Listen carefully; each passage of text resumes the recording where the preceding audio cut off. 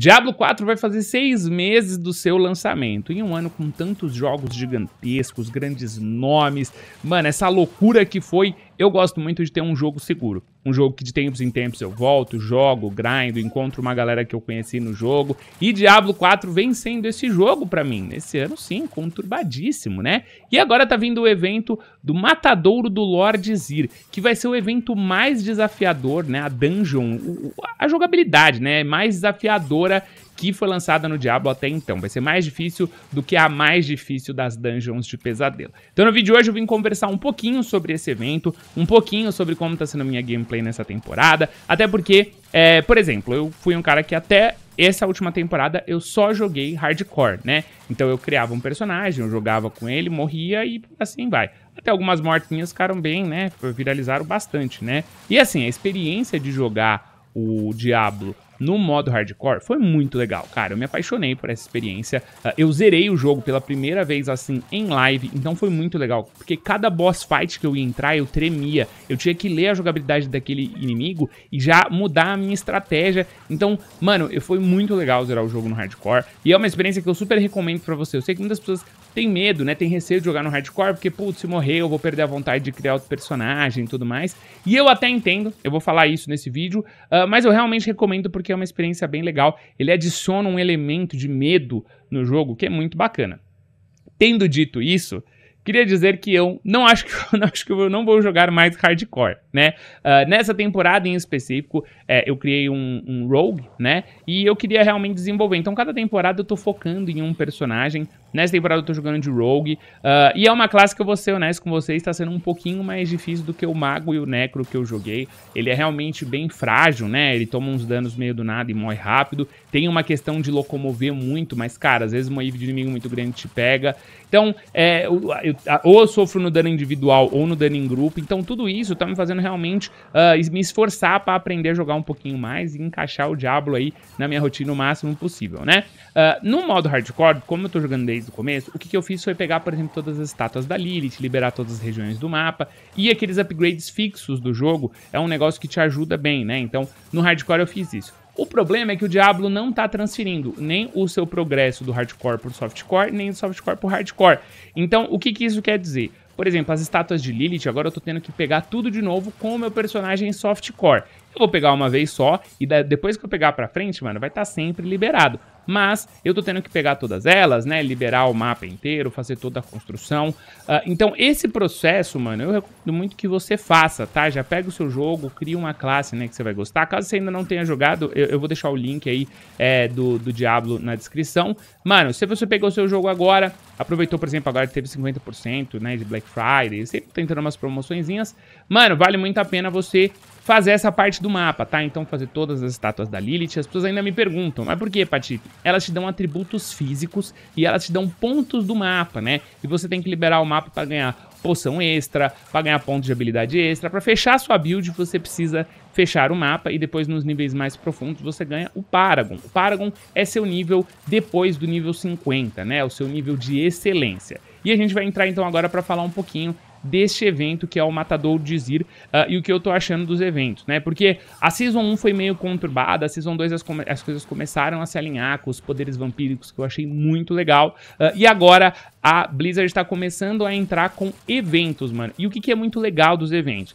Além de ter toda uma mudança visual no mapa, eles colocam inimigos novos e desafios maiores. O ponto é que para você curtir esses eventos, você precisa estar com o seu personagem muito forte. E para que você esteja com o seu personagem muito forte, é interessante que você tenha feito um sistema de grind, né? Então eu acho que agora a gente vai enfrentar dois desafios diferentes no Diablo, né? Um deles é a ideia do hardcore, realmente você chegar o mais longe possível uh, sem morrer, né? Mas eu realmente hoje eu recomendo, eu parei de jogar hardcore por isso, porque eu realmente quero entender os limites do jogo. É, jogar no hardcore me fez ter barreiras para entender qual que é o limite de força, qual que é o limite dos inimigos.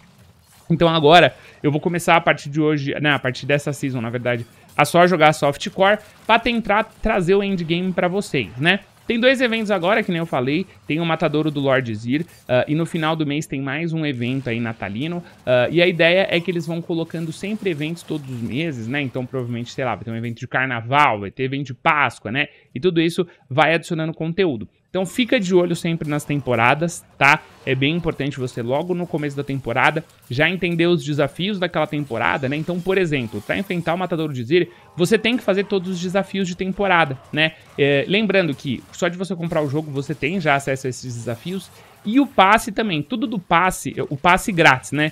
Tudo do passe que influencia na montagem do seu personagem, do seu poder, é grátis. O, a única coisa que é do passe pago são os cosméticos, né? Então, para você que não quiser comprar passe, só, o Diablo, a Blizzard está comprometida a vender somente itens cosméticos, né? Recentemente eles lançaram até um formulário pra galera e a galera identificou que dentro desse formulário teria uma mecânica que seria é, o Pay to Power, né? E a galera reclamou e a Blizzard já falou que entendeu e não vai fazer aquilo no jogo. Uh, então, a gente tem sempre que ir se atualizando e acompanhando, mas para tirar o máximo de proveito do jogo, é importante que você acompanhe as temporadas. Então, não só a temporada, cria um personagem, faça os desafios, tenta bater nível máximo, porque a partir dali você vai estar sempre é, pronto para os próximos desafios, né? Eu tô tendo que dar uma corrida agora atrás do tempo. Uh, esse evento de agora, o Matador de Zid, vai ter sete semanas, então eu tô meio que dando uma corrida contra o, contra o tempo com os meus personagens, com o meu personagem, no caso, uh, já bater nível máximo, nível 100, e começar realmente a fazer uma build mais complexa para enfrentar essas dungeons mais difíceis e aí, quem sabe, fazer o evento do Matador de Zid. Então, fica aqui, né? Como eu falei, eu vou e volto, vou e volto, e eu acho que a gente vai fazer isso durante muito tempo no Diablo. É um jogo que eu acredito que a gente vai jogar por pelo menos uns 10 anos, ainda que tenha expansão ano que vem, então muita coisa nova vai sair, mas conselho próprio, manos. Já começa a deixar seus personagens no nível máximo, faz todos os altares de Lilith, libera o mapa tanto no modo softcore quanto no modo hardcore, tá? Porque se amanhã depois você quiser jogar o hardcore também, pô, ah, Patife, sou só um jogador de softcore. Mano, vai que você decide jogar, já deixa isso prontinho, esse cenário preparado, para que ao longo dos próximos anos, aí, conforme forem vindo todas as atualizações, a gente esteja pronto, tá bom? Tô aprendendo a jogar de renegado, eu não tô conseguindo trazer uma build ainda pra vocês, toda temporada eu trago pelo menos a build que eu vou jogar naquela temporada, né? Mas eu não consegui trazer de renegado ainda, porque eu não achei uma build muito boa, eu não achei nada que eu me identifiquei, né, pra jogar solo, pro grind e tal, eu ainda estou aprendendo qual que é o melhor desempenho. Mas eu queria saber de vocês aí, quem de vocês ainda tá jogando, se eu mantenho o clã do Diablo lá que a gente tem ou não, como que vocês preferem que a gente mantenha essa comunicação de Diablo, porque, como eu falei, eu vou jogar durante muito tempo. Eu gosto de trazer esses reports dos jogos que eu tô jogando, né? Por mais que eu não esteja jogando só aquele jogo, eu tô jogando vários jogos e sempre que eu faço alguns avanços interessantes ou que tem alguma novidade, eu venho e atualizo vocês com isso. Mas eu queria saber de vocês aí, estão jogando Diablo, pegaram agora na promoção da Black Friday, estão é, esperando uma nova promoção? Manda aí nos comentários. E o desafio ainda é tentar fazer o matador do Lord Zir, tá? Vai ser difícil, mas tem até aí, mano, tem um tempo ainda pra fazer e eu vou tentar. Tem que estar tá forte, velho. Tem que estar tá forte e eu vou ficar forte com o meu renegado. Vai ser difícil. O desafio da temporada tá maneiro, não é não? Enfim, muito obrigado pelo carinho, agradecer a todo mundo também que me notificou, o pessoal veio falar comigo no Instagram sobre o, o Matador de Lord Zir. Eu tava já de olho, mas eu tinha deixado passar sem querer. E, mano, o pessoal já veio e me avisou para eu, eu continuar desenvolvendo aí esse conteúdo e mantendo vocês atualizados ao longo dos anos. Agradecer também a Blizzard pelo apoio com toda essa cobertura de Diablo, eu fiquei muito feliz em trazer essa cobertura desse jogo, né? Uh, e continuar trazendo conteúdo cada vez mais e mais de Diablo para vocês. É isso, espero que tenham gostado, comenta aí o que vocês estão achando do Diablo, tamo junto, um beijo, é nóis, até a próxima, valeu e tchau.